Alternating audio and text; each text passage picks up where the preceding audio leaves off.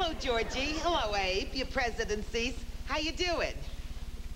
you want me to be honest? If not you, who? Mother, this happens to be the men's steam room. What's the big deal? We're all dead. What could happen? She's right, Abe. How long you been dead, Georgie? Oh, 179 years now. Funny.